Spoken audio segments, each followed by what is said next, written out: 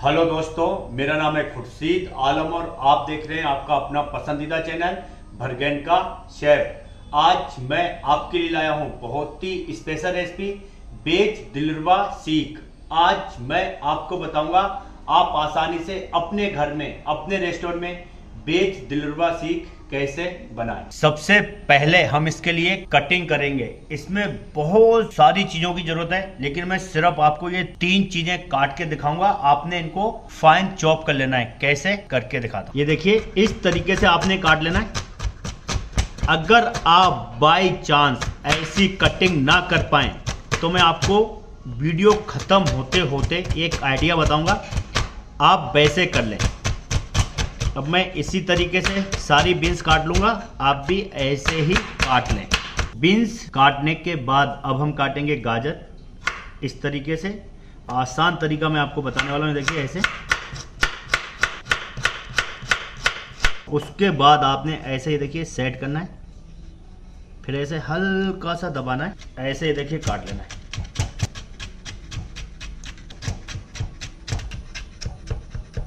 उसके बाद ऐसे घुमाया और ऐसे सेट किया और ये देखिए, ऐसे आपने काट लिया। इस तरीके से जैसे कि मैं काट रहा हूँ। अब आपने गोभी काटनी है। कैसे? ये देखिए, इस तरीके से। गोभी काटने का बहुत ही आसान तरीका ये, ऐसे ये देखिए। अब आपने इसको उबालना है। और आपको ये कप में बता दूँ कितनी है। ये है एक एक कप। हमारा वाला, आपका वाला पता नहीं। सब्ज़ी उबालने का तरीका क्या है? आपने उबलते हुए पानी में डालना है।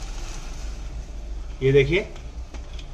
जैसे कि आप ये देख रहे हैं ना, अभी हमारे पानी उबल चुका है। अब मैं सिर्फ़ एक मिनट उबालूँगा और तुरंत कर दूँगा गैस बंद। और इसको फटाक से छान लूँगा। छानने के बाद आपने क्या करना है? इसके ऊपर ठंडा पानी डालना है ताकि सब्जियों का कलर खराब ना हो। ये देखिए, कितनी अच्छी तरीके से हमारी सब्ज़ियाँ उबल गई हैं और कलर कितना अच्छा और एकदम करंची मैंने उबाली है, जिसको बोलते हैं ना, करंच वैसी उबाली है। अब आपने क्या करना है? आपने ये सब्ज़ी को ऐसे लेना है, देखिए, और इस तरीके से ना दबाना है, कस के और इसका पानी नचोड़ लेना है। अच्छी तरीके से पानी नचोड़ लें आप अगर ऐसे हाथ से नहीं दबा सकते हैं तो आप कपड़े में लेके नचोड़ लें। अगर दबा सकते हैं, आप में जान है तो आप ऐसे भी नचोड़ सकते हैं। देखिए, कितनी अच्छे से मैंने नचोड़ ली। इस तरीके से नचोड़ना है, पानी नहीं होना चाहिए। आपने लेना है एक डिप बोल। डिप बोल के अंदर ये सब्ज़ी डाल दे। देखिए, कैसे खिल जाती है पानी नचोड़ने के बाद। अब मैं इसी तरीके से सारी सब्ज़ी नचोड़ लूँगा। आप भी ऐसे ही नचोड़ लें। ये देखिए, मैंने सारी सब्ज़ी का पानी नचोड़ लिया है। आपने देखा, मैंने आपको कितनी अच्छी तरीके से बताया, आपने कैसे सब्ज़ी काटनी है, कैसे उबालनी है और कैसे नचोड़नी है। अब आपने क्या करना है?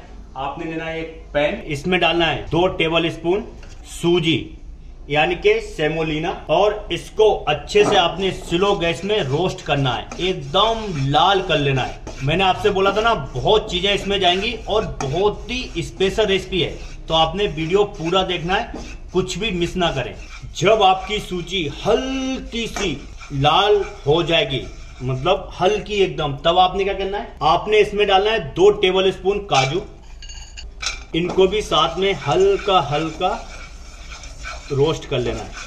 और आपने इसमें डालना है दो tablespoon peanut. Peanut roasted है। आपको क्लियर कर दो मैसेज, लेकिन मुझे क्या है ना, थोड़े से गर्म करना है। इसके लिए मैंने डाले हैं अब तीनों चीज़ें साथ में अच्छे से रोस्ट करूँगा।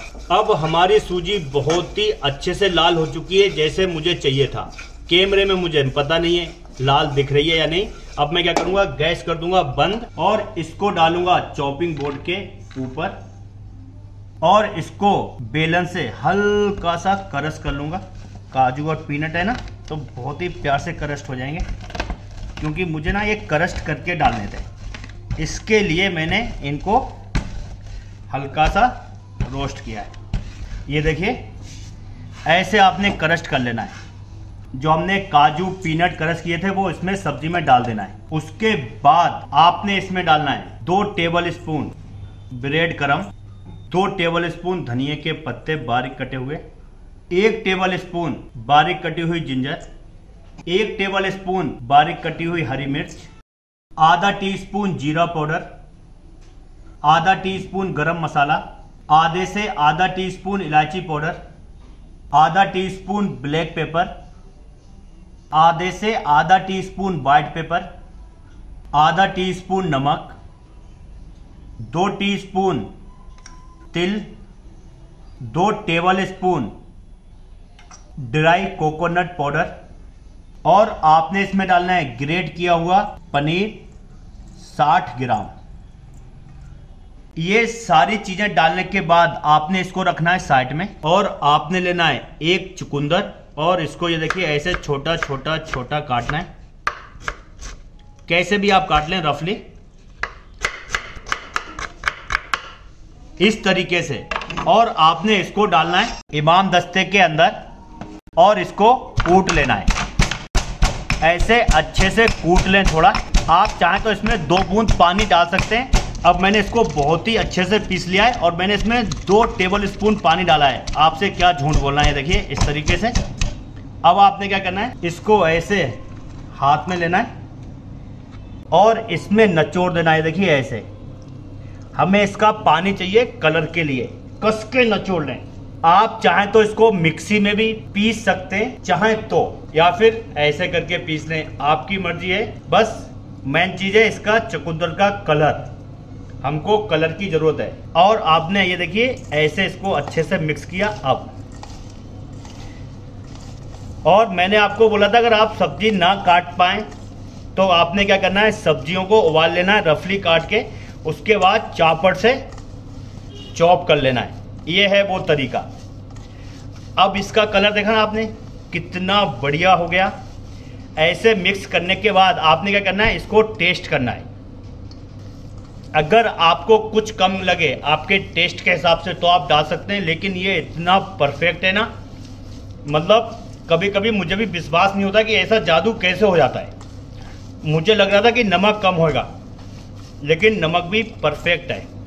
ये देखिए, शानदार। अब मैं आपको सीख में लगाने का तरीका बता रहा हूँ। आप जब भी कोई भी सीख बनाते हैं दुनिया की तो आपने सीख लेनी है मोटी और चौरर सबसे सही सीख यही है सीख लगाने की। लगाना कैसे? आपको दिखा देना आपने हमेशा की तरह सबसे पहले हाथ को गीला करना है इस तरीके से। उसके बाद इसको ऐसे आपने पकड़ना है इस तरीके से जितना आपको चाहिए। और ऐसे डाला। उसके बाद इस तरीके से देखिए आपने लंबा कर लेना है और बीच बीच में आपने हाथ को गीला कर लेना है। ये देखिए बहुत ही आसान है सीख। में लगाना। और आज की खास बात क्या है आपको बताता हूँ। मैंने है ना, थोड़ा सा इस तरफ़ ज़्यादा रखा है, क्योंकि मैं आज है ना, ऐसा उल्टी सीख तंदूर में डालने वाला हूँ। और अभी ये हुआ नहीं है, इसमें कुछ बाकी है तो आप भाग ना जाए। पूरा वीडियो देखें, क्या बाकी है, क्या करूँगा मैं आपको दिखाता हूँ करके। अब आपने क्या करना है, टेबल को ऐसे अच्छे से साफ़ कर लेना है, सुखा लेना है। उसके बाद आपने लेना है एक पनीर का टुकड़ा, और ऐसे ये देखिए, इस तरीके से पनीर को ग्रेट कर लेना है। ऐसा लंबा, जितना लंबा हमारा सीख कबाब है ना, वैसे करें आप, ये देखिए इस तरीके से। अब मुझे उम्मीद है आप समझ गए होंगे कि आपने कैसे करना है, और आपने इसमें डालना है तिल। ये देखिए ऐसे, फैला के। और आपने इसमें डालना है धनिए के पत्ते। ये देखिए, ये हो गया तैयार। अब आपने क्या करना है, आपको बताता हूँ। आपने सीख लेनी है, और अपने हाथ को गीला करना है, और इसमें ऐसे गीला हाथ लगा देना है। कैसे, आपको दिखाता हूँ। इस तरीके से देखिए, ऐसे गीला हाथ लगा दें ताकि ये चीज़ें इसमें चिपक जाएँ, ऐसे। अब आपने क्या करना है? ऐसे दोनों हाथ से सीख पकड़नी है और यहाँ पर रखनी है, देखिए, ऐसे, इस तरीके से, ऐसे रखा और इसको ऐसे घुमा दिया। ये देखिए, ऐसे घुमाना है आपने। इससे क्या होगा ना? चारों तरफ़ अच्छे से पनीर, तिल और धनिया लग जाएँगे। ये देखिए, ऐसे आपने अच्छे से लगा लेना है। अब आपने क्या करना है? आपने इसमें ऐसे हल्के से हाथ मारना है, ऐसे दबा देना है। इससे क्या होगा ना, आपको डर नहीं रहेगा कि यार ये गिर तो नहीं जाएगा, पनीर क्या होगा, ऐसे ही देखिए, हल्के से दबा के सेट कर दें। अब मैं क्या करूँगा, इसको डाल दूँगा तंदूर के अंदर। इस तरीके से आपने तंदूर में डाल देना है और इसमें लगा देना है तुरंत ढक्कन। आज के कबाब की जो खास बात है आपने इसको निकालना नहीं है। निकाल के जैसे मैं बटर लगाना आपको बताता हूँ ऐसा कुछ नहीं करना है। और इसको मैंने एकदम स्लो तंदूर में डाला है ताकि आराम से पक जाए और कलर भी ना आए। ये देखिए कितने स्लो तंदूर में मैं पका रहा हूँ। बिल्कुल बुझा बुझा लग रहा है आपको। इसीलिए मेरा कबाब इतना अच्छा हुआ है। देखिए निकाल के आपको दिखाता हूँ। कलर देख रहे हैं ना आप? कितना अच्छा हो गया और एकदम सफ़ेद सफ़ेद भी है, जला नहीं है। किसी मेरे फैमिली मेंबर ने पूछा था कि आप सिर्फ़ ऐसा आइडिया बताइए कि कबाब पक भी जाए और जले भी ना कलर ना आए। तो उसका तरीका यही है कि आप सिलो तंदूर में पकाएँ तो आपके कबाब में कलर नहीं आएगा। ये देखिए, कितना प्यारा हुआ है। अब मैं आपको इसके निकालने का तरीका बता रहा हूँ। आपने देखिए, ऐसे यहाँ पर टांगा। टांगने के बाद ऐसे दोनों हाथ से पकड़ना है और प्यार से इसको, ये देखिए, ऐसे निकाल देना है। अब ये बहुत ही आसानी से निकल जाएगा। ऐसे आप निकाल लें और बैलेंस आपने बना के रखना है ऐसे, ताकि टूटे ना। ये देखिए। कितने प्यार से मैंने आपको निकाल के दिखाया। आप ये ना सोचे, नकली है, इसलिए मैं पूरा दिखा रहा हूँ। और आपने ऐसे रखा। ये देखिए और आपने इसको काट लिया। कलर देख रहे हैं ना आप? एकदम लाजवाब है। काटना कैसे? ऐसे देखिए, घप करके नाइफ मारी, एक का दो किया, उसके बाद ऐसे सेट किया, और यहाँ से ऐसे, और ऐसे। आप चाहें तो ऐसे ट्रेंगल भी काट सकते हैं, लेकिन मुझे ना ऐसे पसंद है सीधा सीधा ये देखिए। लाजवाब। आपने ऐसे रखना ये देखिए। लग रहा है ना मस्त? क्या कलर है? हुआ ना शानदार। अब ये अपने आप में इतना खूबसूरत है ना, कुछ डालने का मन नहीं कर रहा है। तो आपने क्या करना है? हल्का सा ऐसे चाट मसाला छिड़कना है। थोड़े से धनिए के पत्ते, बस। और कुछ ना डालें, नहीं तो इसकी खूबसूरती कम हो जाएगी। देखिए, घुमा के दिखा दे रहा हूँ आपको। वेरी नाइस आज मैं आपके लिए लेके आया बेच दिलवा सीख, और मैंने बहुत ही आसान तरीके से बताया कि आप आसानी से कैसे बनाएँ। अगर आपको मेरा वीडियो अच्छा लगा, मेरा काम पसंद आया, आपके दिल को टच किया तो प्लीज़ मेरे चैनल को सब्सक्राइब करें और वीडियो को ज़्यादा से ज़्यादा शेयर करें अपने फ्रेंड और फैमिली के साथ। मिलते हैं अगले वीडियो में एक नई रेसिपी के साथ। तब तक के लिए